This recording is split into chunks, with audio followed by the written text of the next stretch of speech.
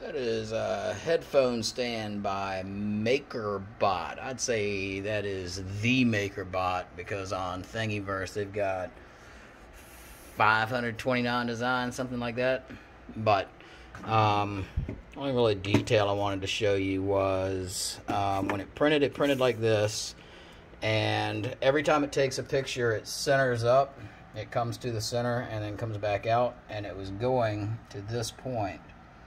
So, um, at that point, I changed the temperature from 209 to 206. And then I changed the temperature from 206 down to 199. And I'm not sure why it's picked back up near the top, but lower temperature will um, prevent oozing uh, when it's not printing, is what that proved. But uh, let's see, I got a set of headphones right there, just like you'd expect.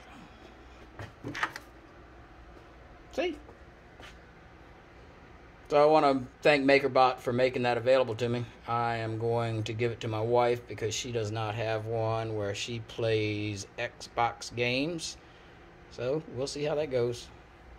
Thank you, MakerBot.